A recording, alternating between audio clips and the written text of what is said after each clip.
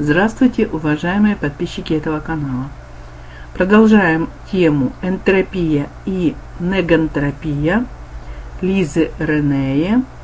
И я сейчас вам напомню, эти два слова у нас воспринимаются нами как энтропия в термодинамике, функция, состояние термодинамической системы, определяющая меру необратимого рассеивание энергии.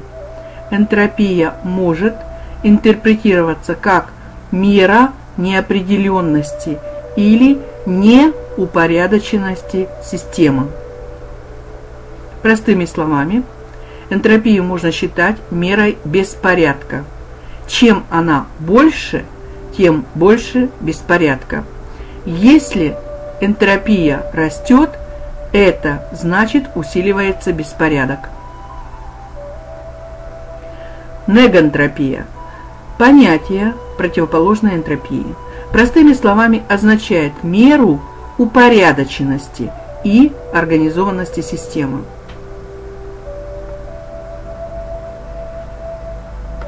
Теперь мы приступим к нашей теме, когда мы поняли уже, напомнили себе, что это такое – Сегодняшняя тема – метатронический разворот. Продолжение статьи «Энтропия и негантропия». Метатронический разворот – это система энтропийной архитектуры, предназначенная для отклонения сознания от оригинального божественного проекта – Христа древовидной сети 12 и проявление закрытой системы форм жизни Антихриста. Как оригинальная программа творения кристального божественного источника изменена или модифицирована в результате потери энергии, нарушается способность к самовосстановлению и повышению. Это в конечном итоге ведет к энергетическому коллапсу или внутренней амплазии системы проекта, что проявляется как падение сознания и впоследствии как возможное уничтожение. Черная материя, проявленная в низших измерениях, связана с потоками бессознательных, безличных сил, стихий и пустых оболочек, спутанных с нижними иерархиями духов. Это один из путей понять, как чрезмерное количество черной материи, состоящее из голодных призраков, теневых существ и сатанинской иерархии, стало захороненным и пойманным в ловушку в земном теле. Изменение архитектуры открытой системы кристального кода означает, что появляется возможность ограничения поступления энергии к светому, к световому телу человека. Измени, измененное кодирование, записанное в планетарном теле, не позволяет циркулировать или получать энергию непосредственно из вечного божественного источника. Метатронические существа или существа Антихриста, отключенные от вечного источника, должны высасывать энергию из других существ и систем. А они постепенно съедают самих себя. Поэтому, когда в конечном итоге приходит конец цикла эволюции продолжительность их жизни ограничена. Падшее сознание, такое как у падших ангелов и духа самозванца, обусловлено конфигурациями метатронических кодов на планете. Эти конфигурации являются результатом чрезмерного злоупотребления свободной волей, противосостоящей божественному плану и намерениям божественного источника. Эти циклы эволюции, противостояние негативной полярности достигло момента огромной потери энергии, которую невозможно восполнить. Существа, отказывающие восстановить себя в процессе более высокого развития в конце цикла, ставят под угрозу свою способность вернуться в вечное выражение жизни и продолжить свое существование в пределах космического порядка.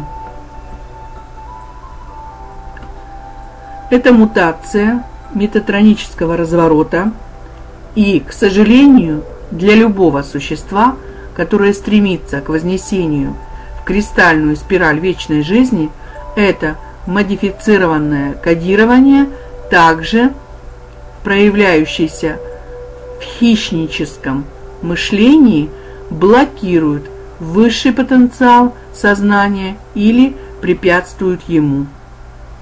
Когда это происходит, проявленное существо не способно выражать свою душу и наивысшую цель поддержания космического порядка.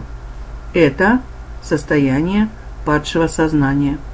Метатронические частоты не просто являются проблемой на планете Земля – но и простираются на многие уровни многомерной анатомии матрицы универсального времени. Энтропийно закодированные метатронические спирали. В течение последних пяти тысяч лет наша планета функционировала в закрытой системе би-волны с ограниченным энергоснабжением – потреблением энергии других и формированием паразитарных отношений. Она в огромных пропорциях расширялась на нашей планете. Такой энергетический дисбаланс был преднамеренно запрограммирован диспетчерами негативной инопланетной программы для искажения органических отношений между спинами вращения электронов вокруг протонов. Энергия жизненной силы захватывалась диспетчерами посредством кодирования и неорганической архитектуры с помощью биполярной геометрии Весика Писес.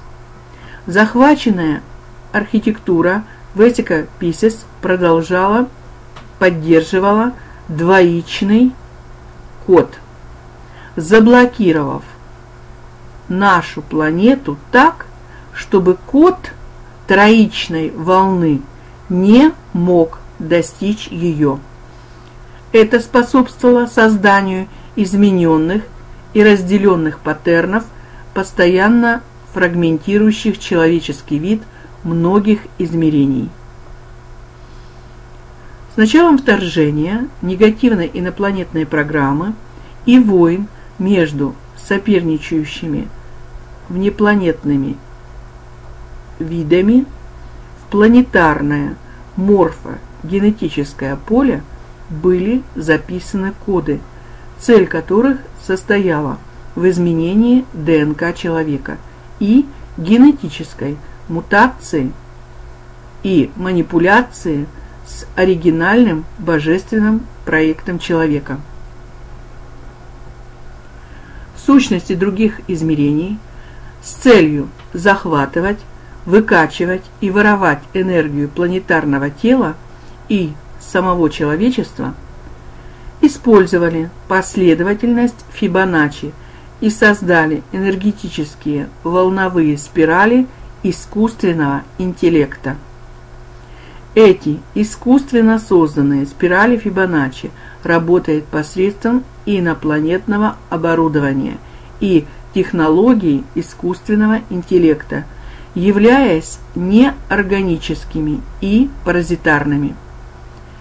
Так были созданы поля метатронического разворота, а также враждебная сферот или искусственное древо жизни – представленные в учении Кабалы и популяризованные темными магами, такими как Айстер, Алейстер, Кроули. Метатронические коды основаны на двух сферах воздействия биволны или весикописес вместо трех сфер вечной жизни или воздействия троичной волны.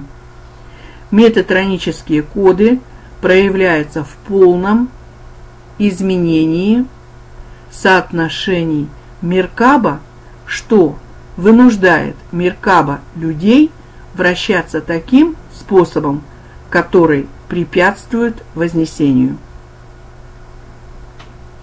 С момента бифуркации распознавания энтеротропийных систем метатронического разворота, основанных на би-волновых закрытых системах, и признания негантропических систем кристальной спирали, основанных на три волновых открытых системах, крайне важно для расширения нашего сознания. Продолжение следует. Автор Лиза Ренея.